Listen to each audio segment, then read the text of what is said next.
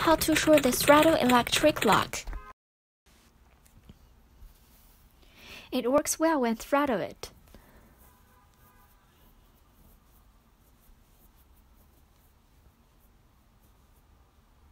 Disconnect the electric lock connector and plug the pink connector so throttle function is short now.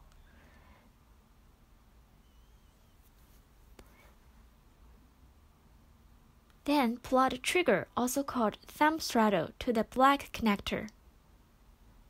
Now I put the trigger and the motor wheel spin wheel without electric lock.